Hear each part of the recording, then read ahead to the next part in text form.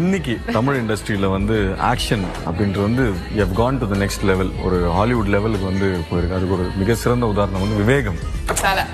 யா ஐ மீன் ஒவ்வொரு ஷாட்டுமே பார்க்குறப்போ ஏய் என்னடா இது? நம்ம தமிழ் படத்துல இருக்குமா? இல்லை இங்கிலீஷ் படத்துல இருக்குமான்ற மாதிரி ஒரு ஃபீல் இருந்தது.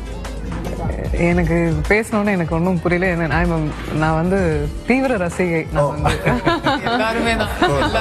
அவரோட கேரக்டர் ரொம்ப பிடிக்கும் எனக்கு. அவர் நிறைய நிறைய கேள்விப்படுவேன். லைக் ஜூனியர் ஆர்டிஸ்ட்லேருந்து லைட்ஸ் மேன் எல்லாரையுமே ரொம்ப ரொம்ப சமமாக ட்ரீட் பண்ணிட்டு இருப்பாங்கன்னு ஸோ கண்டிப்பாக அஜித் சார் அப்படின்னு சொன்னாலே விவேகம் படம் வரதுக்கு முன்னாடியே வந்து அவ்வளோ ஒரு மேக்கிங் வீடியோஸ் அந்த ட்ரெய்லரோட மேக்கிங் வீடியோஸ்லாம் பார்த்து விவேகம்க்கு இவ்வளோ ஹோம்ஒர்க் பண்ணியிருக்காரு அஜித் சார் அப்படின்னு சொல்லிட்டு நிறைய ட்ரெண்ட் ஆச்சு.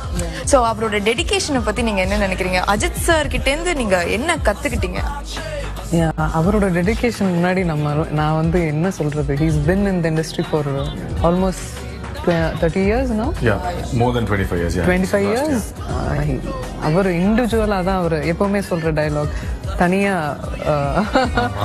வந்த?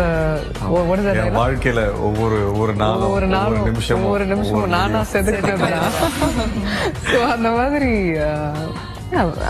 எந்த பேக்கப்புமே இல்லாம வர்றது டெஃபினட்டாக ஒரு பெரிய கஷ்டம். அது அது அந்த கஷ்டம் எனக்கும் தெரியும். பட் ஹீரோவாக uh, இருக்கிறதால டெஃபினட்டாக இன்னும் பெரிய கஷ்டங்கள் அவங்களுக்கு இருந்திருக்கும். விவேகம்ல அவர் போட்ட uh, ஒர்க்லாம் பார்த்த பார்த்தும்போது truly inspired truly inspired and he got injured also அந்த ஃபிலிம்னு கேள்விப்பட்டேன் அண்ட் நான் ரீசெண்டாக ஒரு ட்வீட் பார்த்தேன். தலை நீங்க இவ்வளோலாம் கஷ்டப்பட்டு எங்களை திருப்திப்படுத்தணும்னு அவசியம் இல்லை. நீங்க படத்துல வந்தாலே நாங்க போதும் நாங்க வந்து உங்களை பார்த்து ரசிப்போம் அப்படின்னு.